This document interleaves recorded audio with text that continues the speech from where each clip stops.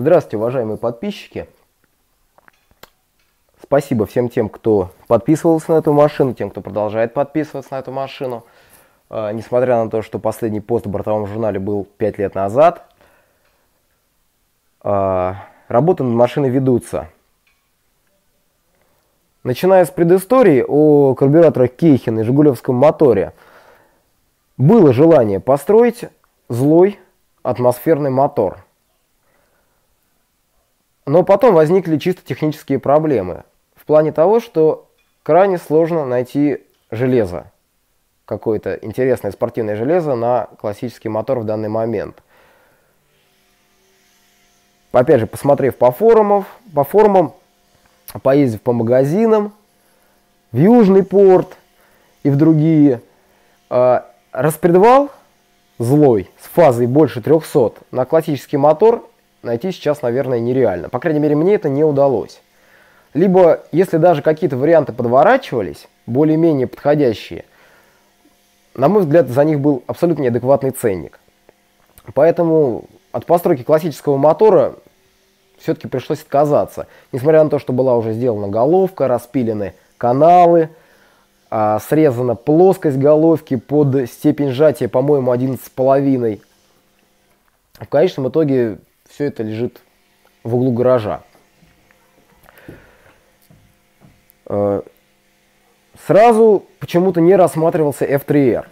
Несмотря на то, что все его хвалят, многие советовали, не заморачивайся, не забивай себе голову, поставь F3R, и все у тебя будет прекрасно, будешь ездить, наказывать иномарки, тяговитость, комфорт, адекватный расход и так далее и тому подобное. Э, комфорт и расход в плане езды на этом э, автомобиле ну, не сильно меня волнуют. Комфорт, да, расход абсолютно не волнует, потому что на каждый день у меня есть Шкода с мотором 1.6, восьмиклапанным, унылым, 101 лошадиная сила, который не едет абсолютно, мотор уже там сейчас вот-вот отъедет, расход масла там сейчас порядка литра на тысячу километров, вот, но тем не менее она как бы возит, не напрягает, не ломается, прекрасно. Если этот автомобиль рассматривается как автомобиль выходного дня, то его расход меня, в принципе, волновать не должен. Поэтому в конечном итоге было принято решение поставить туда вазовский шестнарь. Ну, в общем, как я уже говорил, по мотору велосипед не изобретался. Путь проторенный многими тазоводами и очень хорошо работающий. То есть, соответственно, 16-клапанный мотор – Турбина TD04L, классическая для, по-моему, турбо, турбомоторов подобного плана. Турбина уже тихонечко помирает. Ну и она и куплена была за такие деньги, когда не стоит ожидать от турбины ничего такого. Долговечности и надежности.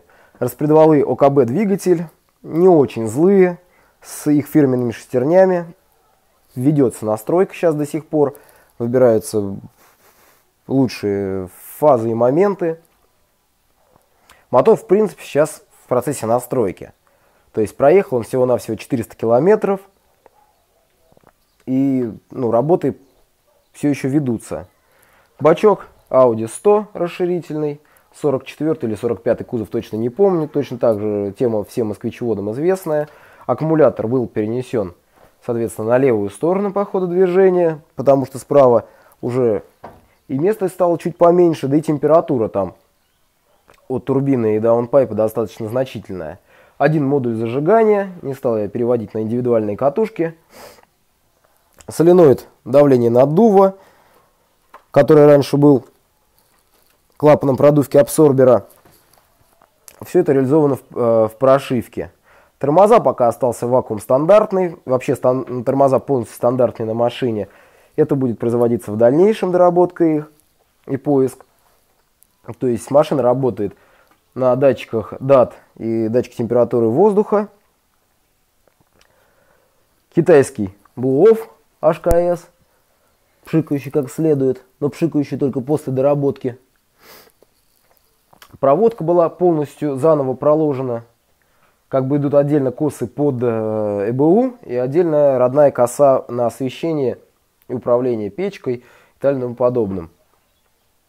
Вот, в принципе, ничего сверхъестественного здесь не сделано. Сделано все немножечко по-своему, своеобразно, но готовая схема уже есть у многих.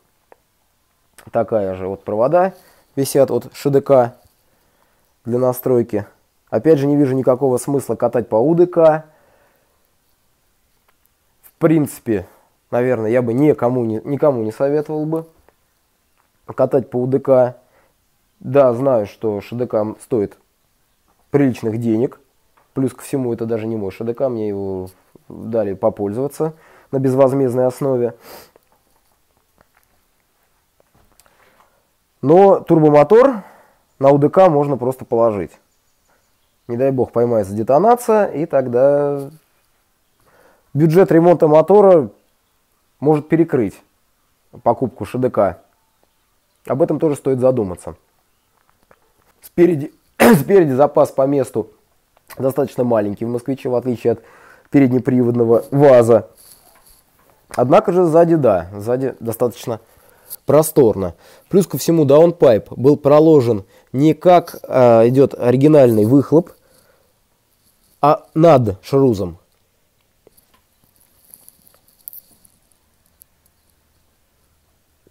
Потому что если бы труба прокладывалась под ним, во-первых, это дополнительный нагрев на него, во-вторых, она стоит очень низко. Коллектор, выпускной сваренный аргоном, также достался мне вместе с турбиной, обмотан в термоленту. После последних покатушек я понял, что вообще не зря это сделано, потому что и турбина, и коллектор светились оранжевым цветом. Я думал, кстати, что у меня я не достигну таких результатов. Однако факт остается фактом. Варилось у меня все это на работе, собственно, как бы денег тоже в это вложено не было. Труба МАЗ, даунпайп. Выхлоп вообще весь собран на двух резонаторах.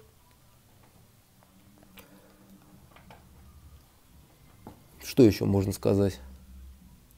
Да, в принципе, ничего интересного. Если у кого-то возникнут какие-то отдельные вопросы, конечно же, я с удовольствием на них отвечу. А так вот, пока катаемся, настраиваемся. Все нормально. 185 теоретических лошадей.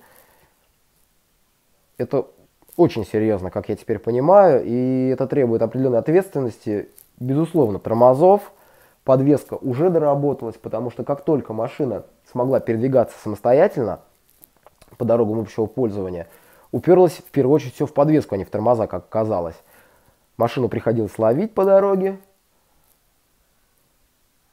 Рулежка была абсолютно никакая.